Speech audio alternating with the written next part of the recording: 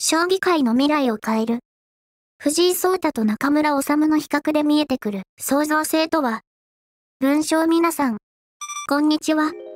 今回は、将棋界で大注目の二人、藤井聡太さんと中村治さんを比較し、ながら、彼らの持つ創造性について深掘りしていきたいと思います。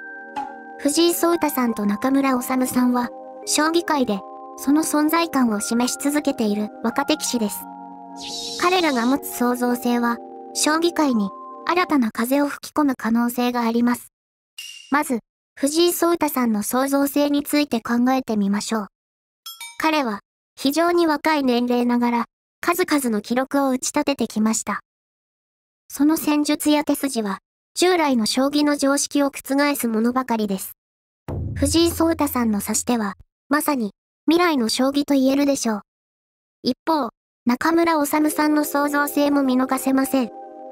彼は、独自の戦術を持ち、常に、新たな戦略を模索し続けています。中村治さんの指し手は、まさに芸術とも言えるほど緻密で美しいものです。彼の将棋は、見る者に感動を与えること間違いなしです。この二人の比較を通じて、将棋界における創造性の重要性が浮き彫りになります。創造的な指し手や戦略は、将棋界の発展に欠かせません。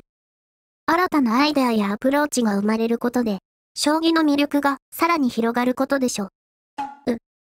さて、皆さんにお聞きしたいことがあります。藤井聡太さんと中村治さんの将棋について、どのような印象をお持ちでしょうか？彼ら、の指し手や戦略に対して、どのようなコメントをお持ちですか？ぜひ、コメント欄にて、皆さんの意見をお聞かせください。あなたのコメントが、将棋界の未来を変える一歩と、なるかもしれません。最後に、将棋界における創造性の重要性を改めて感じることができたのではないでしょう。うか。藤井聡太さんと中村治さんの比較を通じて、将棋界の魅力を再発見しましょう。それでは、次回の動画もお楽しみに。動画をご覧いただき、ありがとうございます。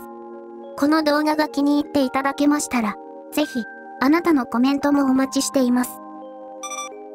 チャンネル登録もお願いします。